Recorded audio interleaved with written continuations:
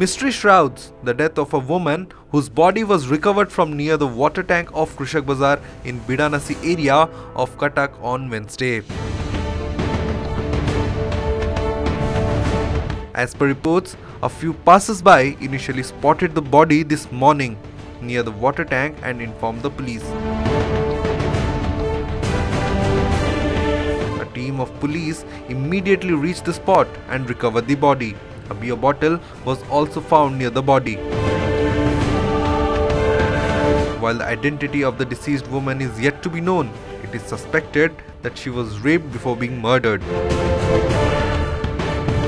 Police have initiated a probe into the matter. Bureau Report, OTV News.